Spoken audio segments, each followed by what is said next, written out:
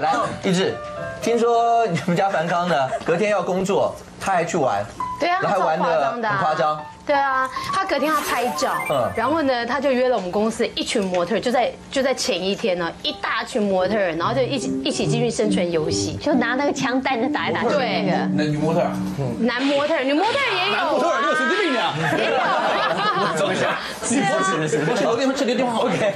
好，然后呢？那一群人，然后就一起进去玩，然后他们就完全就是疯狂了。然后他最后那一天，他被打的全身就背后都流血，然后手臂都流血。然后他隔天拍照，他是要穿无袖的背心。哦哦，那怎么办？他就用很多那种透气胶带，然后粘起来，然后都还没结痂，因为才隔天而已，都还没有结痂，就整个把它粘住，把血粘住这样子，然后盖了很重的粉这样子，然后也不晓得他第二天。他他去完会受伤，他第二天还要工作但是他还是很兴奋的，他可以兴奋到前一晚睡不着。在一次生日的时候呢，把他摆在夜市，然后自己跑去看枪。对呀。然后呢，明明第二天要工作，他还这个样子，这个人到底心里面在想什么？叫他自个来说。对，好吧。看起来很成熟，其实很幼稚啊。因为这样子，来，我们叫他自己来说，请热烈掌声欢迎李凡哥。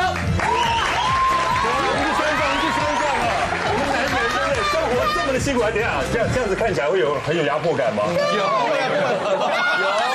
等下，等下，我先跟西西讲一下，这个是玩具啊。OK，是玩具哦。你穿这样其实还蛮帅的，蛮帅，对不对？不是啊，他穿这样是蛮帅的。可是如果第二天要工作的时候，然后身上应该是要穿无袖的，然后都是疤或是流血的那个状况，就很惨了。你到底怎么想的？生日也不管，然后工作也不管。生日的时候呢？那你干嘛结婚呐？生日呢？每一年都会有嘛？有时候会不小心忘记，对不对？对。而且你们要知道，男人工作很辛苦，没错，很累，对不对？偶尔喝一下饮料有什么关系？觉得？然后一身上走走走走走走走。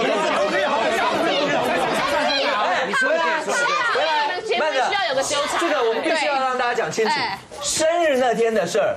刚你那位自认为是你的同袍好友，他出卖你说是你自己到最后才跟他们讲的。他不知道啊，他没有要陪你老婆过生日。这件事情其实是这个样子的，因为当时是有点兴奋，因为要去买枪，然后去枪店里面看枪。每次到了这个 moment 的时候，大家都会特别激动，嗯，所以就会那个激动就会盖过老婆生日这件事。所以你是骗他说大家帮你真的是很离谱哎，是有一点忘。所以你的意思是说枪比你老婆还重要啦？是啊，想清楚再回答。其实这个时候我就觉得老婆比枪还要重要。你少来哦，那么难受啊我。啊，那天你真的就是把它丢在夜市，你真的就只顾着看那个玩具枪而已。就那时候就对有一点，心里完全没想到老婆了。真的没有，没有，因为我想说有夜市陪他就可以了。有夜市陪他。都已经吃了不知道十几拖去了，怎么可能还没看完？好吧，我我错了。OK，那如果重说第二天要工作，但是你还那么热衷玩生存游戏，至少你真的非常玩这样的一个游戏。你有非常多把玩具枪，嗯，还蛮大概多少把？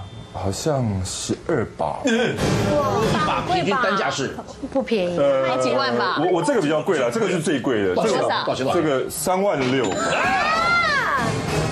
不过其实呃，玉志还有很多的委屈啊，还有很多。听说有一次是他把你洗脑，洗脑到最后。让你去买了一把枪给他，就是这一把，就是这一把，就是这一把。为什么？你这么讨厌他？这个为什么？你为什么买这个呢？他有一次回来，他有他去玩枪战嘛，他就跟我，他跟伟明哥，然后跟那个高山峰一起去玩枪战。然后回来之后，他就跟我讲说，他说哇，他说你知道吗？那个高山峰跟伟明哥啊，他们都带着很正的妹一起去打枪战。我说真的吗？那是他们女朋友吗？他说那应该是吧。然后说那他们有进去玩吗？他说有啊，他们就坐在外面等，然后穿的很。辣这样子啊，我说这样啊，我说那那那，他说那我说那其实我应该陪你去玩，对不对？他说对啊，人家女朋友都有陪啊。就后来他就说，可是你进去你没有配备啊。他说我告诉你进去都被打得很严重，你知道吗？我说啊那么可怕。好，我告诉你要买什么东西，你要买手套，你要买这个护膝，你要买这个防弹背心，整套装备。他说最重要的是你枪一定要很强。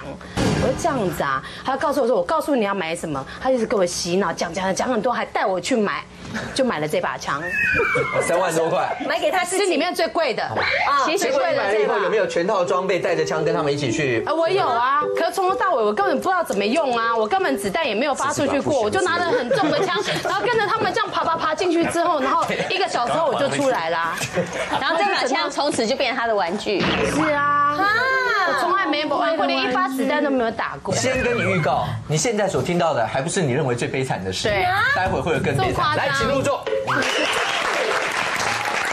好，一凡哥，所有你老婆该知道的秘密，她都知道了吧？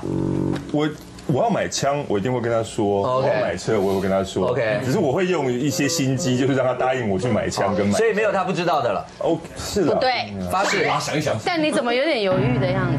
有没有？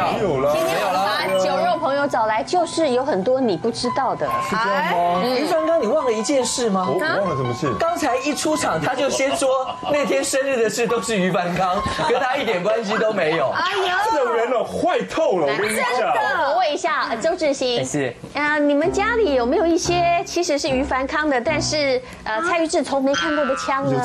应该不可能，因为他家我常去。印象中好像有交代说要忘记这件事情。什么东西啊？子弹吧，没有上子弹吧你？们家到底有几把？是啊，你们家有几把他的枪？我家现在三把，那为什么要摆你家三？把枪是他的，呃，等一下，等一下，三把多少钱？怎么可能？我常去你家哎。有三万六，因为枪上面又没有刻名字超。过了，超过了。那三把枪为什么要摆在你家？呃，因为比三万六贵。这当朋友的唯一可以帮忙一起收藏，唯一他不敢让蔡志知道。不是，那他什么时候买的？他什么时候买的？昨天下午，这这这，兄弟，我我没办法。酒肉朋友大爆于反抗的秘密，看来他此劫难逃喽。哥哥天妹玩的火辣，老公被带坏。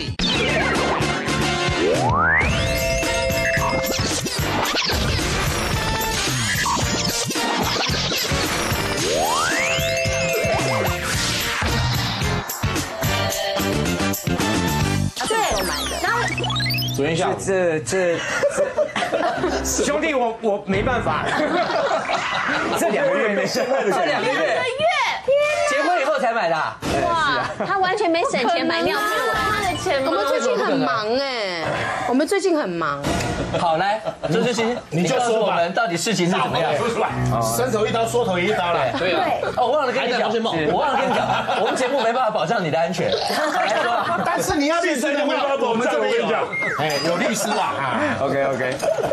没有，这事情的经过就是刚好有一天，刚好两人都没有事嘛，然后就打个电话，你刚好都哎都都有空空对，然后想一想也。喝酒不要了，是伤身体，大白天的，对吗？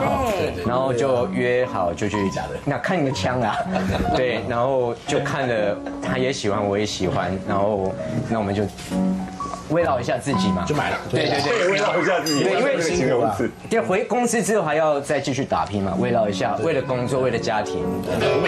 那为那为什么不敢跟老婆讲？对啊，有什么不敢讲而？且不可能啊，因为我们结婚之后，其实钱都是归我管。所以啦，所以他有私房钱。大嫂没有啊他也他也可以跟他调一下啊。其实其实不要说不要说朋友是这么不好，你老公也真的不大好。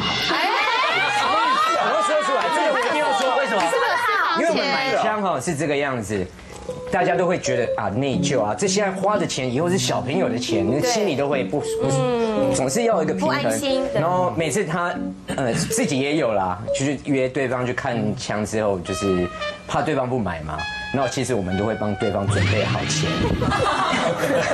所以是你借他。对对对。我们是这个样子，我们一般去看枪，我们 要花钱，嗯我们就身上不带钱，嗯然后看看看看完了之后呢，就想说那。呃，怎么样？喜不喜欢？哦，喜欢呢。哦，我觉得也不错。哦，这样啊，那要买吗？啊，我身上没带钱，没关系，我有。所以你也会这样。如果是你约周志新的话，花钱然后呢，他说没带钱，就是没关系，少爷帮你准备好了。对，就是这个样子。我们一般都会这样，就是所以那。些钱到底还了没啊？呃，这呃这这到时候到时候再说吧，到时候再说。那三把枪多少钱？嗯，他他帮他准备钱，也要十万吧？多少钱？六七万块吧，是三只还是一只？三只吧，三只三只。这种朋友不能交啊！就跟你讲，慎选朋友。我们在战场里面，我们都是互相掩护啊。对在